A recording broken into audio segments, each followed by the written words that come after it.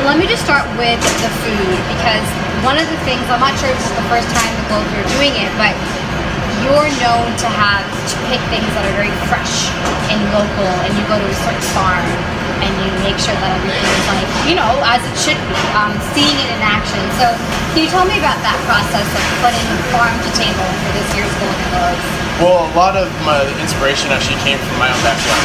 I have a garden at home, uh, so I grew sweet potatoes for the first time. So I wanted to use sweet potatoes. So we did the sweet potato vichyssoise. Oh my god. Uh, I partnered with a local farm in Oxnard called Scarborough Farms, and the microchives that we're using as the garnish, they planted specifically for us, for the Golden Globes. Okay. Um, I went up there myself when they were planting and helped plant some of the seeds for the that's microchives. great. that is. So I think it's just really important to know where your produce is coming from, and uh, it's, it's just you know I just became a father this year, and it has even more importance to me. Wow. Yeah. Because we, it's funny you mention that because I was talking to somebody. I don't want to go off too much, but about future children. You know, we got to make sure they're aware of knowing where our ingredients are coming from and not getting too caught up in the commercialization of things. Of course, it's you know it's just that much more important to set that example for the future generations and to to set them up for for being healthy adults. Is there anything else uh, new you're trying for the first time this year? Uh, the honey nut squash, which is the vegetarian alternate, um, that's that's I love honey nut squash. I don't know if you're familiar with it. I It's- love it too. It's a hybrid squash. It was actually developed by a chef, uh, and it was developed for its flavor. So a lot of times when there's uh, produce that's been developed in some way, hybrids, things like that, it's developed to be more uh, to grow better, to grow bigger, faster, stronger, whatever. This was developed to be more flavorful. Okay. And you're doing it in what kind of? Uh, that it right there, or? That's this is the plate right here. Yeah, that's it. So it's uh, roasted honey nut squash. Oh my god, that looks great. And then we have a piquillo pepper hummus on the bottom. And then it's stuffed with uh, braised rainbow chard, quinoa, chickpeas, and golden raisins. So is that going to be like the starter, one of the starters, or No, this is the, the alternate. Oh, so this this is is for all- our uh, vegan guests. for the vegan? So can you walk us through the start to the finish of what you have prepared for the guests? Yes.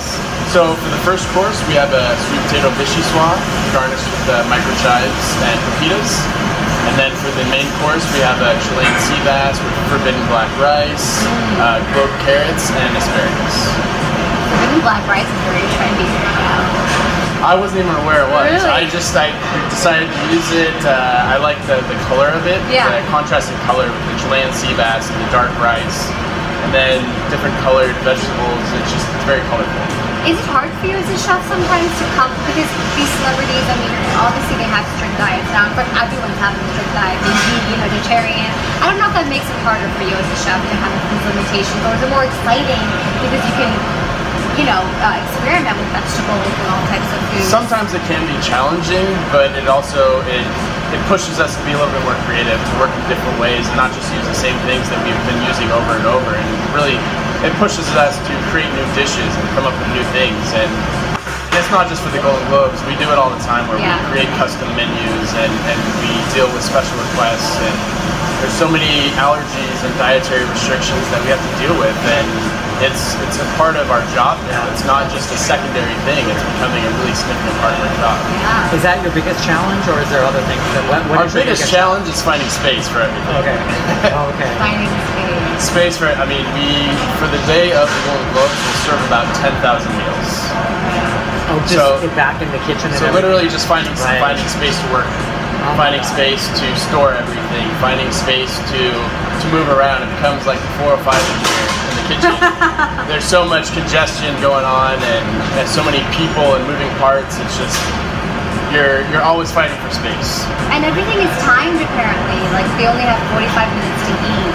So I guess you have to just make sure everything is prepared in advance. I mean, Yeah, we have uh, we know exactly how long everything's going to take. You know how long it's going to take us to the, the food to cook, how long it's going to take to, to plate it, how long it's going to take to serve the food. So we've practiced this so many times with so many other events that we know exactly what we need to do at the right time. What is the most valuable skill that you appreciate from your workers in the kitchen?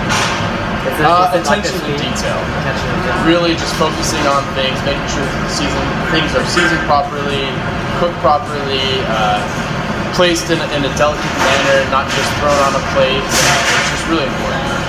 And in general, you being a chef, I mean, what's kind of like been your story in terms of growing into the chef that you are and where you want to take that? I really think it starts with farms. Um, you know, when I first started, the first kitchen I worked in, I worked with a local organic farmer, and that's how I created specials every day, and they were based off of what they were sending us. We had them send us whatever they had growing at the time, and we would just create dishes with it. And that's kind of how I developed as a chef.